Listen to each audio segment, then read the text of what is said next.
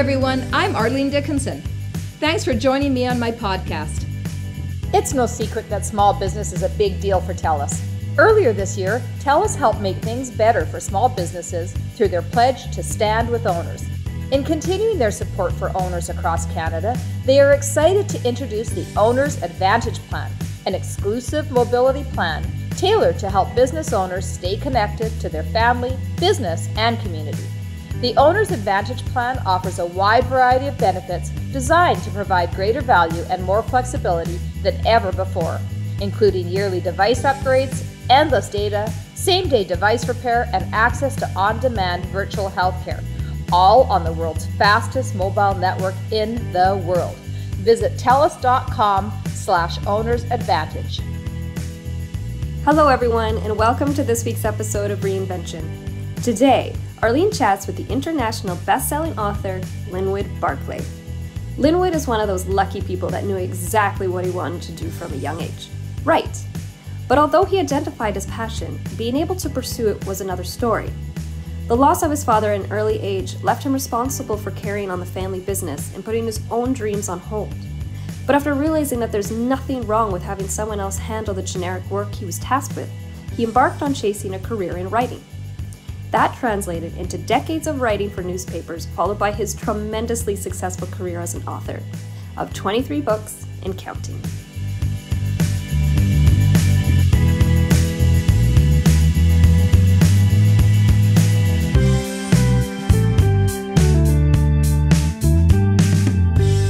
Linwood, it is a real pleasure to speak to you today. I, you know, I, I've read your books for a long time, and I've been such a huge fan of your writing, and and uh, I get so enthralled by the not just the the storyline that you create, but the actual words you use are just so.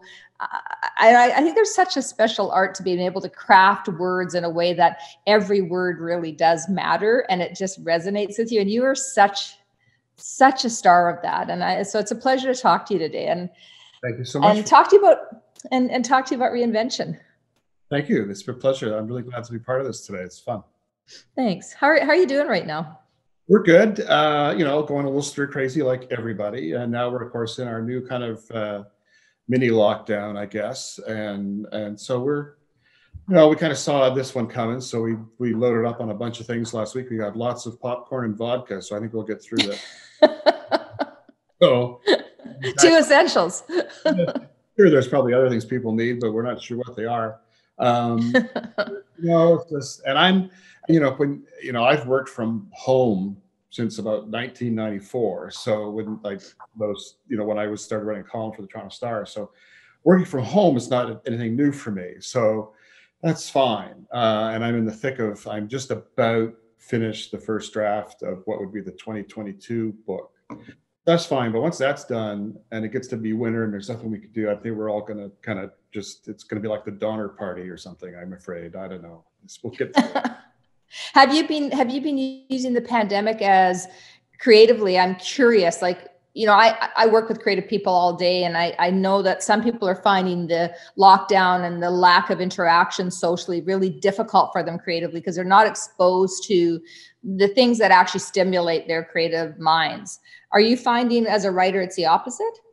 That has that particular part hasn't bothered because I've worked sort of in isolation for years. I mean, when you you know you write novels and you're kind of just totally on your own anyway, so that hasn't had an impact on my work I think what a lot of authors are struggling with and debating is whether we're going to include the pandemic in what in our work.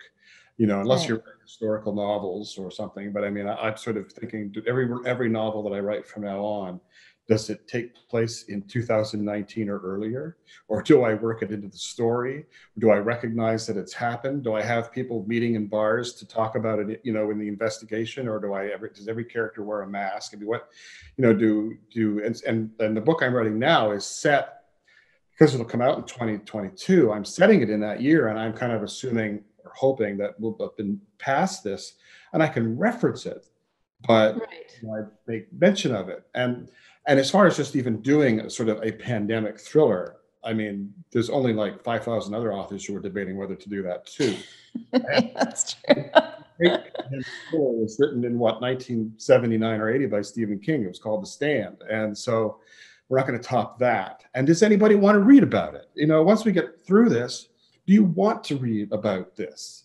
And I'm not sure many of us will. I think we'll be interested in reading sort of nonfiction accounts and how our political leaders either handled it well or didn't. But yeah. in fiction, I, I don't know. So I'm kind of kind of trying to pretend, at least creatively, that it hasn't isn't happening. Yeah, I kind of I like that personally because I we are so inundated right now. And do I want to go back and read a book later on that, that references it? Eh, I'm not sure I do. You know, like I think it's just it is a moment in time that we're all you know hating and and maybe sometimes bringing something you hate back into written words is not actually always a good idea. You know and i just read a wonderful novel not too long ago by the wonderful american writer carl hiaasen who writes these sort of satirical it's kind of if John, jonathan swift wrote thrillers they would be what carl hiaasen writes. And he sets his in kind of a post-pandemic world where it's referred to and talked about but it's over. Yeah. And, and uh, so, yeah, I don't know. It's I guess we'll just see how this all plays out. Yeah. Well, listen, let's just let's just go back a bit to the our listeners and and and for our listeners, sorry, and and talk about your background because I, you know, I I know you. I I have read your books. I I thought I knew you, you know, fairly, you know, reasonably well because of that.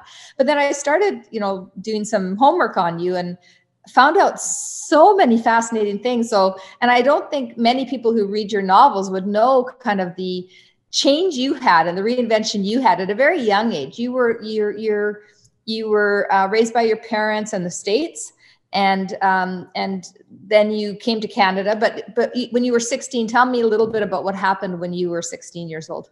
Yeah. So my my um, I'll try to make this a long story. So um, well, if anyone can write it, can craft a story right now, you can. So my father was a commercial artist. He was an illustrator. So if you were to look, you know, the pages of Life, Look, Saturday Evening Post magazine all through the 50s, you saw car ads, which at the time were illustrations and not photography, it's very likely that the person who drew those cars was my dad. Oh, wow. In 1959, when I was just turning four, uh, my dad took a job with the uh, William R. Templeton Advertising, Advertising Agency in Toronto, which was uh, run by the brother of Charles Templeton. And so my parents moved to Canada just as I was turning four. And, and then um, as the 60s progressed, photography killed what my dad did. All the ads were now photographs of cars and not illustrations. And so my parents, you know, embarked on this sort of bizarre new career. In 66, they bought a cottage resort near Bobcaygeon in the Kawarthas Lakes region of Ontario. And so I was sort of uprooted, and at the age of 11, we were we were we were up there doing that.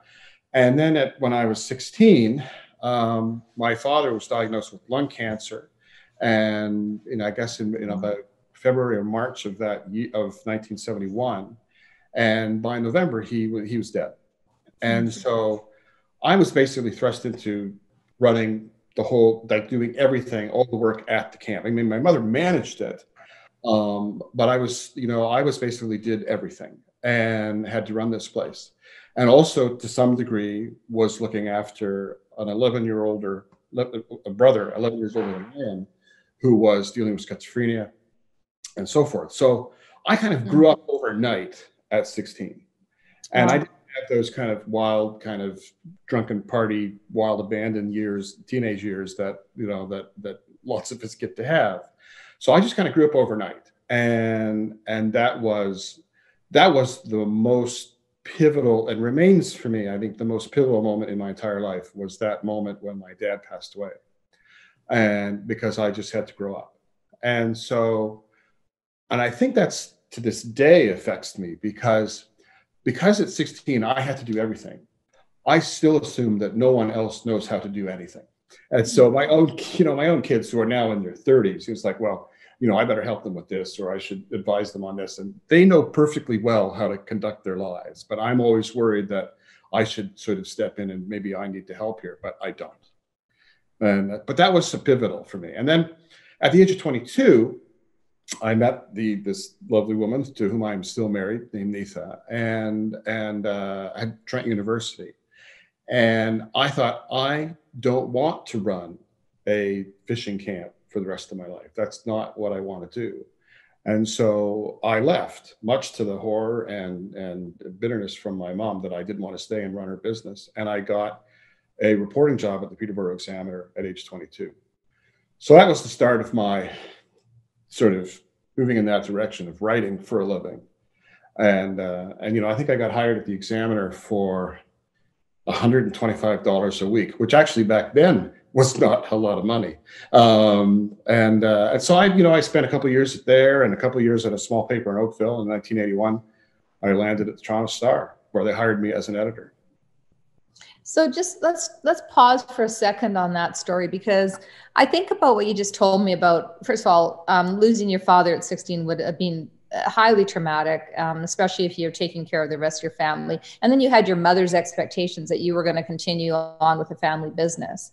So you do that, and and and I and I love the way you have characterized what it's done to you as an adult in terms of responsibility and feeling like you have to be the person to solve everybody else's problems all the time because everybody was looking to you at that young age and and i and i think that then would have played heavily on your decision at 22 to leave the family business. I mean, what for people who work in the family business? I mean, my kids, a lot of my kids work with me. How do you how do you help them understand that they still have to go pursue their own thing? Because they're we're all afraid of disappointing our parents. We're all afraid of saying to them i don't want to do this anymore mom. You know i don't want to live your dream. I want to live mine.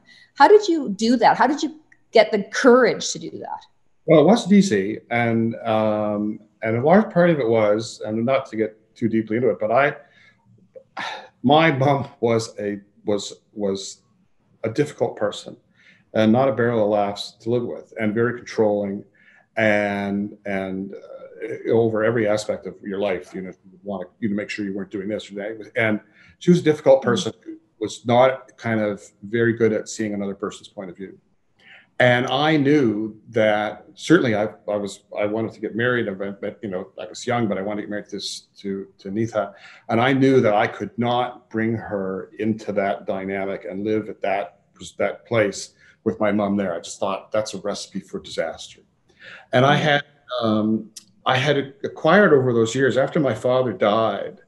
Uh, there were a lot of men, my father's age or younger, who came to that camp to go fishing or to vacation who kind of took me under their wing and became mm. mentors for me. So when it's when you know sort of after that point, when Father's Day, I think of like all of these different guys, you know, who were who were lovely to me, and and and their and their spouses. And I remember going to one of them who was they were like a second set of parents for me, and I went to see them with with Neetha in the months leading up to to getting married. And I remember them saying to me, "This lady sitting here is your responsibility now."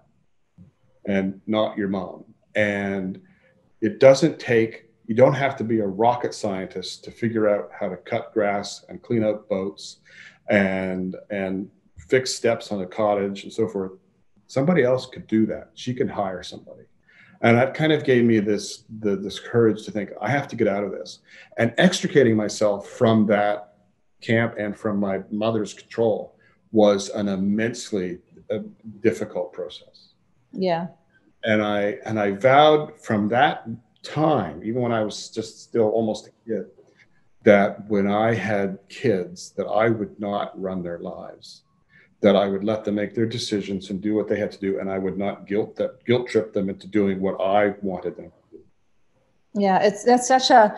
I mean, there's two really important lessons there. I think when you take people often think about mentorship and you know i need to find a mentor and they think they have to go and find somebody who's you know super successful or has done so many things in life and has all the credentials in the world but mentorship is exactly what those people in your you know in the campground gave you these these people who were there who were adults who just took the time to listen and coach you and and give you you know um, their words of wisdom so that you could make your own choices and i and i i love that because mentorship can happen anywhere i mean you can mentor somebody in any situation no matter who you are, right?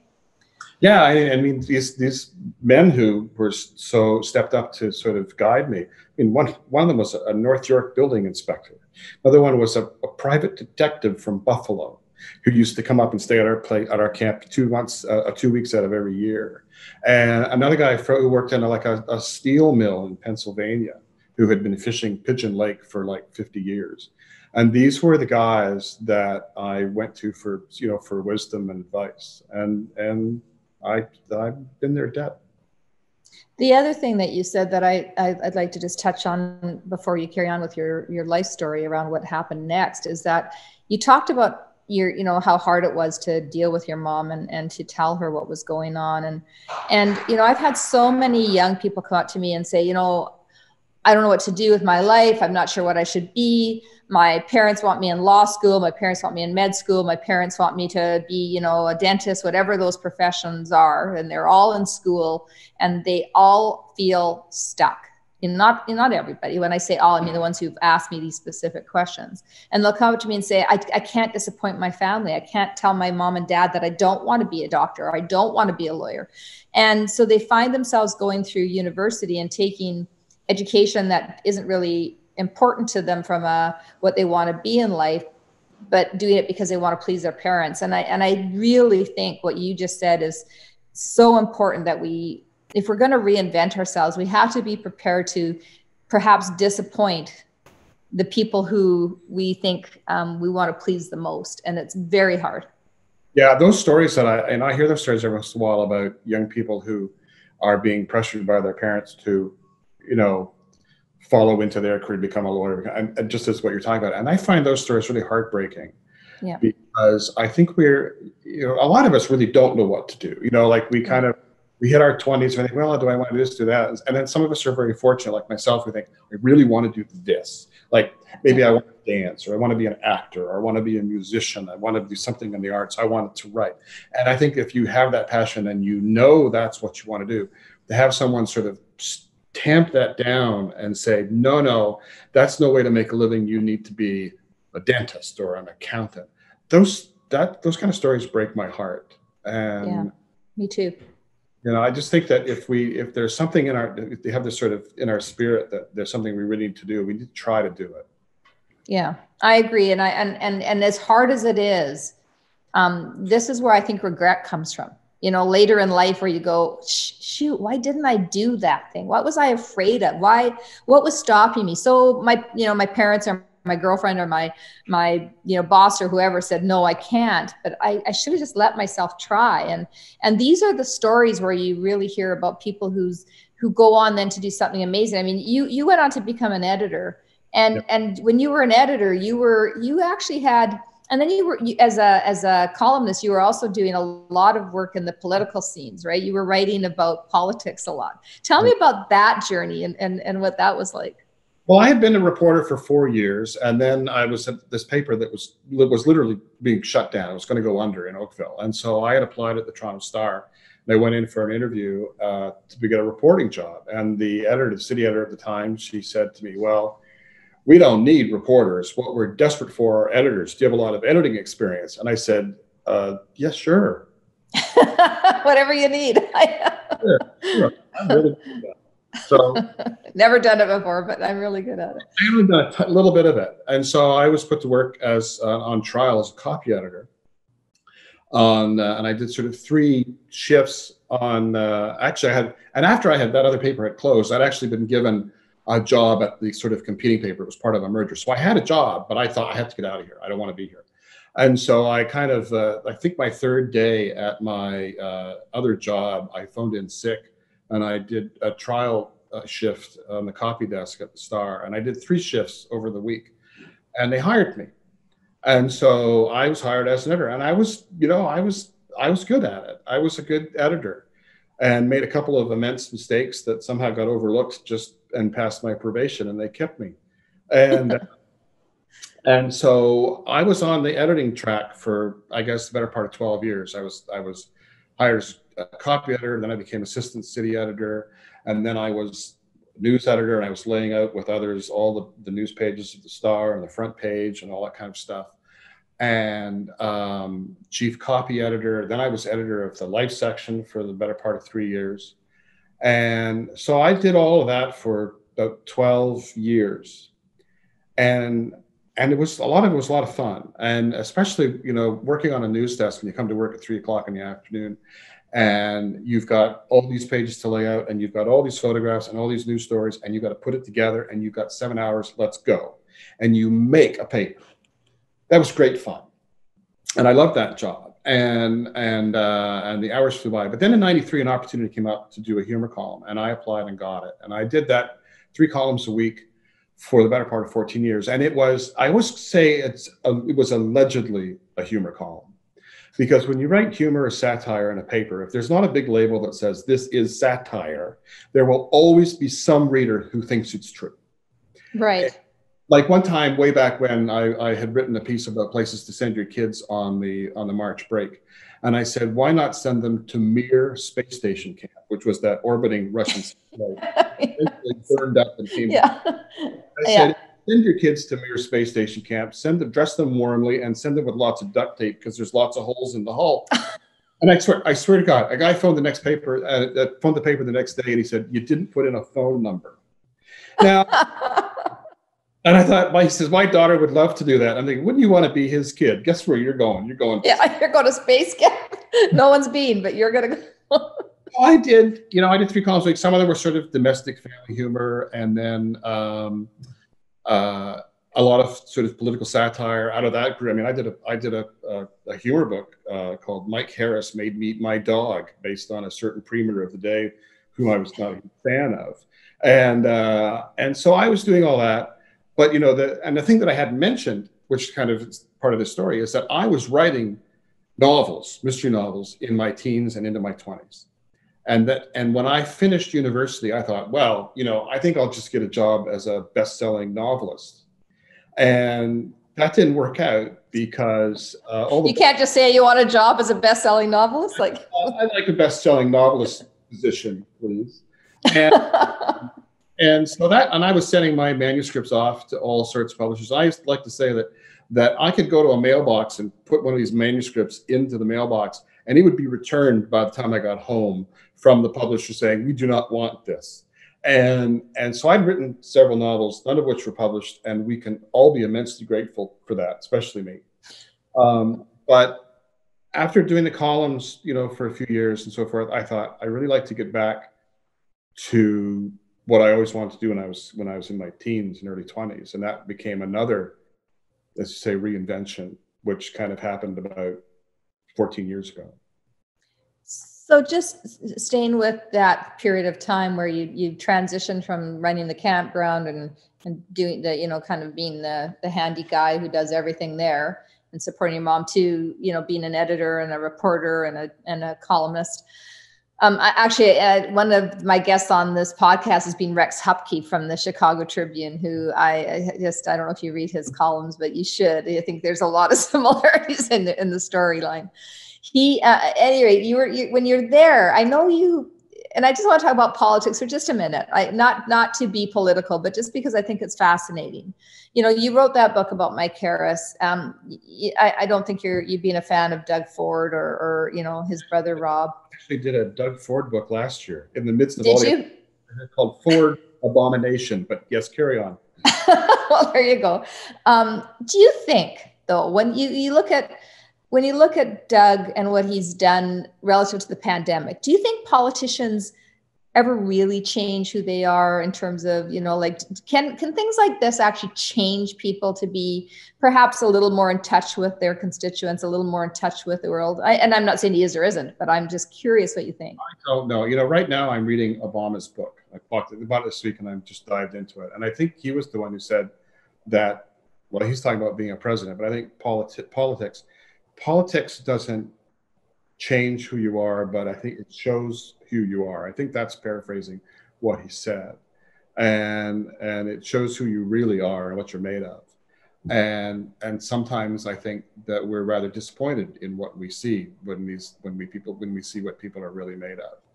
And I think you know you elect people to make decisions, and a lot of times they're they're paralyzed in making them because they're so afraid of displeasing this group or that group that they end up going down the middle and really accomplishing nothing.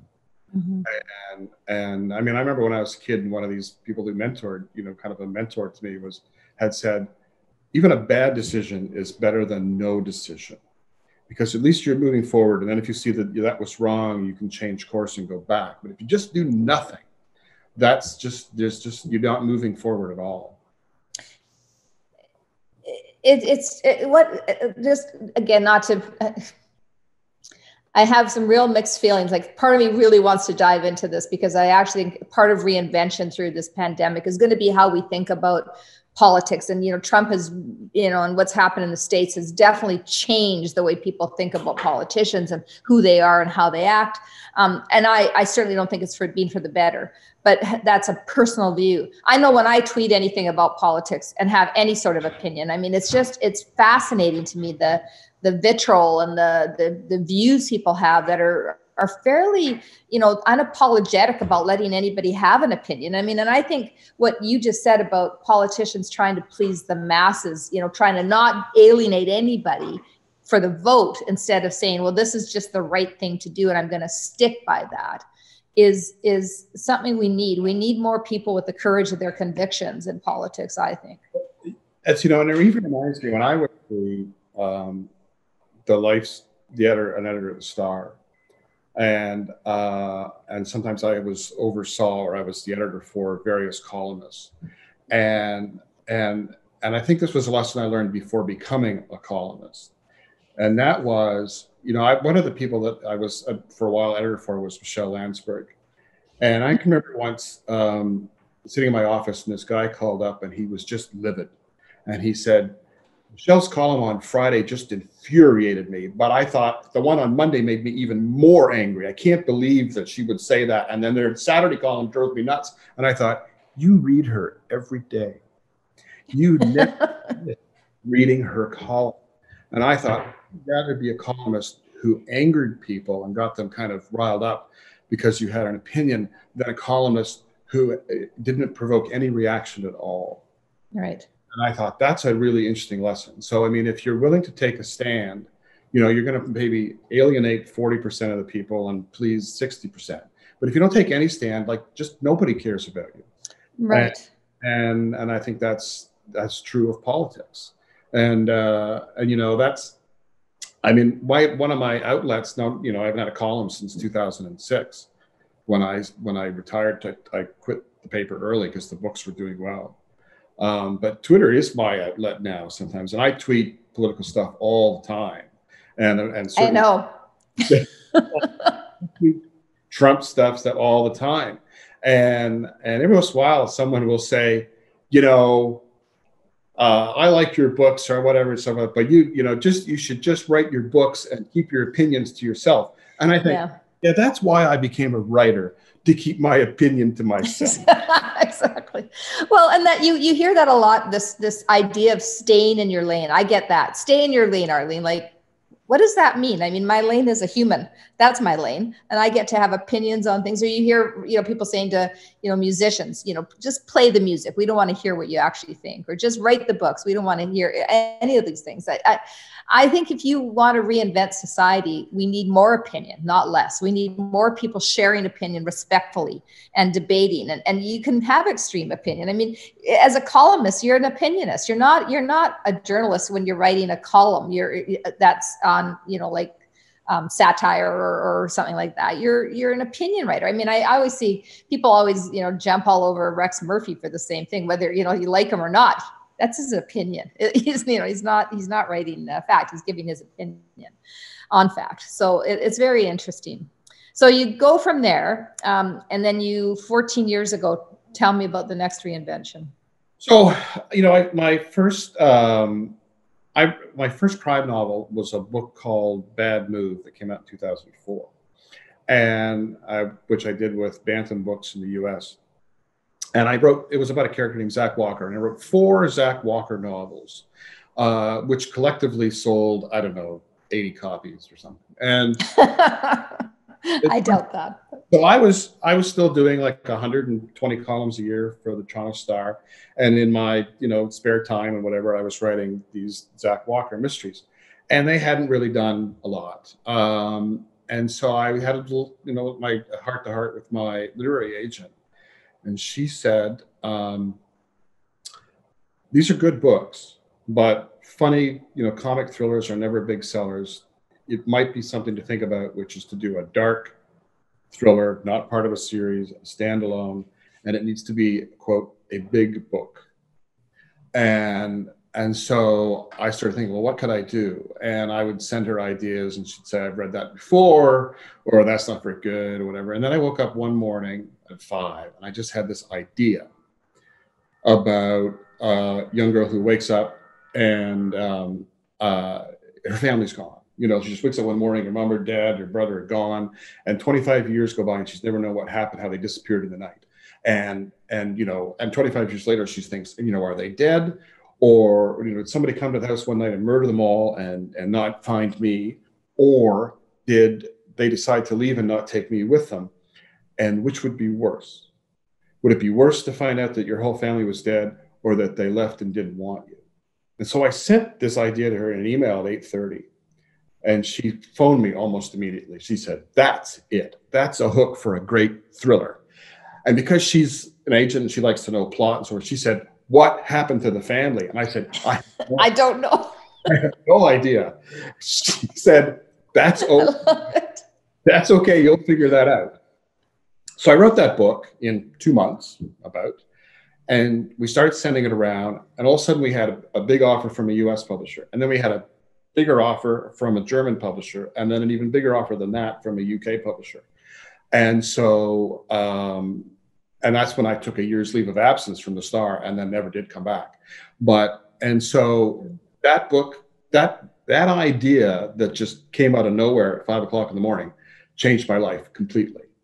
Wow. And that book has sold, I don't know, it's probably now it's probably sold in various languages around the world, probably at least three million copies. It was the single best-selling novel of the year in the UK in 2008 it got picked by a show called Richard and Judy in the UK, which was like getting being picked as an Oprah book, and it became the fastest selling book ever in that wow. TV book club. You know, it was selling like you know they say that in Canada bestseller is like five or ten thousand copies. We were selling I think five thousand copies a day through the summer of 2008. So that really that that just completely changed our lives. In that you know now i quit the day job i quit writing the column because doing 120 columns a year plus a book a year was killing me. Yeah. so now i could just worry about books. And and so you know and that was so that's 2008 and ever since you know i've that's what i do. I i'm i'm on a kind of what they call a book a year treadmill. When you know if you write thrillers you know if you're Michael Connelly or Lee Child or Daniel Silva, there's an expectation we're going to get a book a year from you, as opposed to, you know, a John Irving who might do one every four or five years or whatever, like the sort of like literary fiction. Us, us guys who are to- toiling in the trenches writing genre, we want stuff from you on a regular basis. So that was another reinvention for me. I, I left newspapers, I quit. You know, it was really, and my wife and I would have these long walks around 2006 about whether I should just quit being a staffer at the Toronto Star and just write books and go. And I thought, who quits a job with a dental plan? That's true. Not a dental plan. Like, why would I quit? You know, and, and my wife said, "We'll figure that out." You know, so I quit. That's what I did.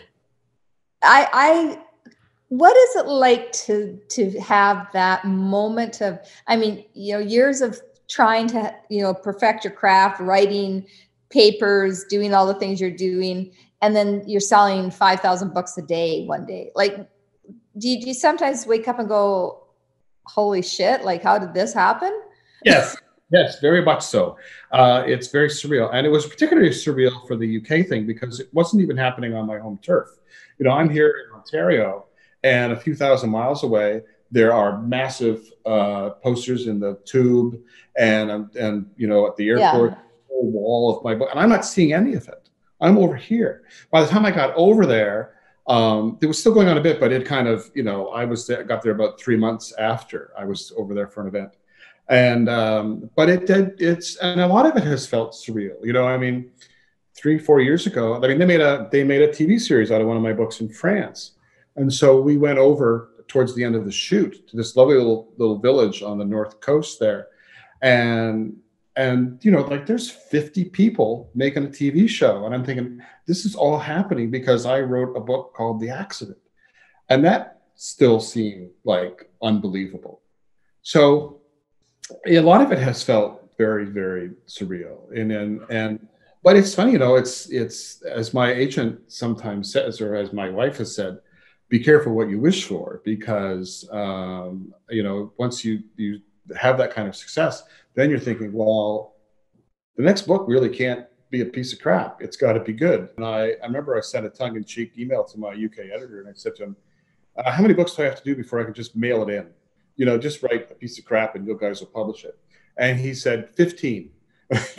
Not great. So I get the book 16. I'll just don't care. And well, maybe it's 25.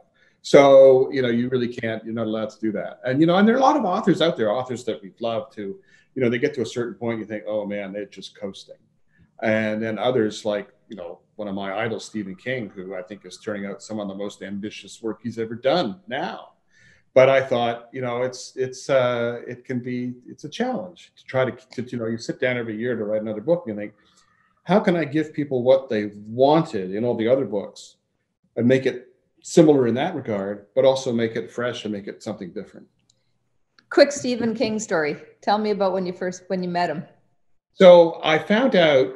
Um, uh, I found about eight years ago or nine years ago that he was that he was a fan, and then he had written something in Entertainment Weekly about uh, a list of things he'd read and had loved over the summer, and he mentioned one of my books, and then he had um, done this. Uh, we had sent him a copy of my book, an early copy of Trust Your Eyes, and he wrote this amazing um, cover blurb for us for that. And uh, I finally got, I've met him twice. And it was funny. The first time I had, I was, it was when he was um, touring for Doctor Sleep and he came to Toronto. And in Doctor Sleep, that novel, which is the sequel to The Shining, there is a reference to a Google Street View type website called Whirl360 that these bad guys use to hunt down this girl. Well, Whirl360 is doesn't exist except in the pages of my novel Trust Your Eyes. So he took awesome. this website that I created and put it into his book. And then in a later book, had actually name dropped, you know, and said one of the characters was reading a Linwood Barclay novel. So I met him the first time. He said, "Did you catch the reference?" And I went, "No, I didn't." yeah, whatever. yeah, you know, son, I've met him a couple times. Uh, he's, and and I every once in a while I'll get an email out of the blue from him, and and uh, you know, and, and so he and he's and he's actually read. I had written. It's a long story, but I've written another novel that hasn't come out. That's more like a Michael Crichton thriller, not what I. Okay.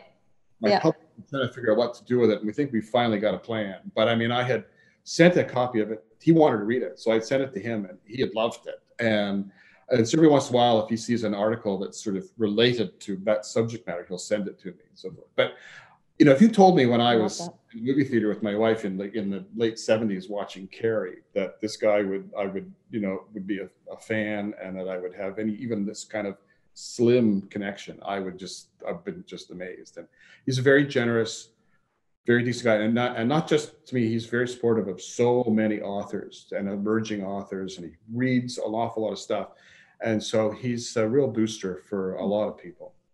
I would say that's true of you too, Linwood. I mean, I, I would say that's true of you. You're very generous of self. Like you, you, you know, you you've always responded to me, uh, even on you know through Twitter. You know, I, I, the first time you I I actually interacted with you was when you were at Fogo Island with your wife, and you guys, right? I thought you owned the Fogo Island. I thought that was yours. oh, he owns. Yeah. he owns this great inn. we did an offer, but. Uh, Um, but but you have always been generous in terms of your support of, of, of, authors as well. I know you attend all of the book events, and I know you're you just are a big uh, a big a big person who mentors others. And so I think if you think about all the reinventions you've had in your life, is there anything that you want to help our listeners understand about that journey to make them understand the importance of reinventing on a regular basis, not just once, but you know as often as you need to? You know, I guess it's you know, it's, I'm not. I'm a pretty cautious guy, and and uh, not not I would, I would say conservative, not politically, but conservative in terms of life decisions. You know what I mean? Mm-hmm. but I think every once in a while you have to be willing to take a chance. I think of of any sort of major moves that I have made, and I even feel this way at the start of every book. I always think it's like standing at the edge of a really cold pool. And it's that just can I jump into it and do it or not? You know, and you just you sort of dip your toe in and think, oh man, that's just freezing. And and then finally think, I'm just gonna jump in. And I think that's kind of the way that you have to to occasionally make that kind of decision. You have to jump into the cold water and see what can happen. And and I've done that. I mean, I did that at the age of 22.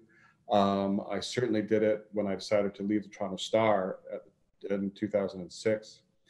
And and you know, and and like I say, leaving that, uh, leaving running that that camp. I mean, I could have still been doing that forever. You know, one of my duties there, I was going to tell you, one of my daily duties through the summer at the camp was to bury fish guts. And I've always keep looking for there's some sort of metaphor in that, but I would have to people guys would clean their fish at the bottom of the lake and they would on this table and they would dump all the stuff in this can and I had to lug it into the woods, Ugh.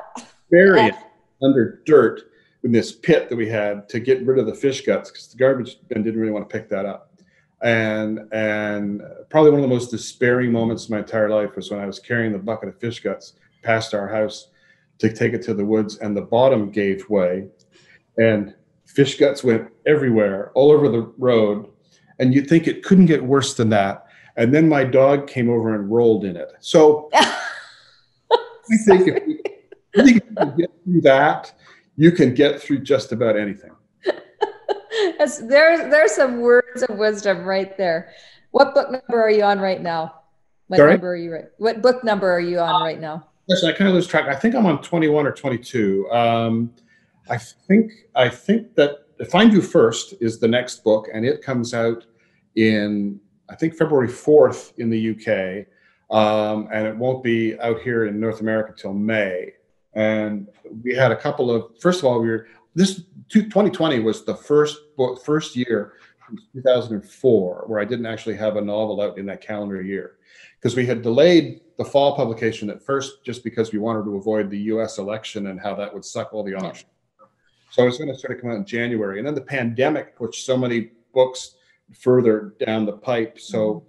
now my next thriller here is it Find You First comes out in May, and um, and I think we're going to do my sort of different Michael Crichton book uh, as uh, as an ebook later in the year, and then the book that I'm writing now, and I'm uh, just about finished the first draft, will come out in 2022 it's just in his first draft. This first draft of a book to me is like a car that comes off the assembly line, and every screw is loose, every bolt is loose, the rattles like crazy. It's got paint scratches all over it, but it's come off the line, and now I have to go back and fix all the defects and things that are wrong with it. But I think I'll have that probably ready by January. I have to ask the question. When you phoned your um, your publisher and said i've got this idea. A girl wakes up her family's gone. She doesn't know what's happened. If they've just left her or they've been killed or what's happened. And you didn't know what the ending was. You didn't know what the actual answer was. When did it come to you what the answer was at what stage? I had an answer before i started writing. I mean i started making okay. some notes and i and my agent actually had one idea. She said what if it was maybe this? And then and i thought oh i think i can make that work. And so i before i start writing a novel i want to know where i'm going to end up. There you know every writer i know is different. I mean i interviewed ian rankin for a festival a few weeks ago. We've we've done a lot of events together and ian just starts writing. He doesn't know where it's going to go and and then someone like michael connelly my understanding is he knows the whole thing what's going to happen has it all figured out and i'm kind of in the middle i i know my sort of hook and my starting point, and I know where I want to end up. But there's this big mushy middle, I call it, of a book that I haven't quite worked out. So, um, but I, but but something like that book, which was No Time for Goodbye, I needed to know what I had to know what happened to that family before I started writing.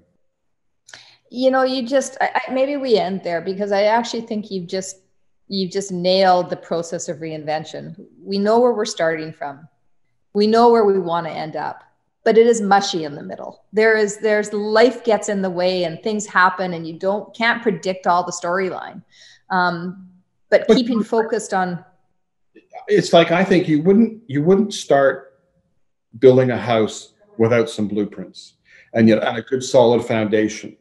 You know, you would start with that. But then once the walls start going up and everything, you think, you know what? You, you think, well, we can we can make some changes, we can do this and that. But you've got to start sort of really well grounded. Right, right. Well, listen, I, I your storytelling has entertained me, kept me engaged. I, I, I love your writing. I, I love your books. Sorry. I, I have nothing but respect for who you are as a person, Linwood. I, I really, I really, I'm, I'm really uh, enjoyed this conversation. I, I, could talk to you for a lot longer. I always find myself in these conversations wishing that we could just continue talking because you you've taught me so much just in this short hour that we've had together but you've also taught me how to use my imagination. And and i don't think we are creative enough. I don't think we allow ourselves creativity and and the opportunity to to just remember what it's like to play with uh, our minds in a way that's in a you know who knows what we could be. So I, I thank you for that. I thank you for the entertainment yeah, right back at you because we've been admirers for a long time. Well, say say hello to your family and and thank you for uh, thank you for everything you do and thanks for the time today. It's been a pleasure. Life is similar to the twists and turns of a thriller. No matter how much you prepare and how great of a plan you may have, the unexpected tends to happen. That can be a permanent redirection, or in the case of Linwood, a temporary detour. The greatest thing we can do in these situations, though, is to take the learnings and apply them to our current situations and grow. The mentorship and wisdom that was passed on from the regulars at Linwood's family resort helped him think differently and ultimately break free of the routine that wasn't for him. Whether you find yourself obligated to follow a path that was predetermined or unexpectedly find yourself in a situation that you don't want to be in, know that your current situation is not your final destination. Stay safe and stay human. Thanks for listening, everybody. This podcast is made possible by the great folks at Venture Communications. Thanks to our engineers, writers, producers, and all the folks who work really hard to bring you these great stories of reinventions each and every week.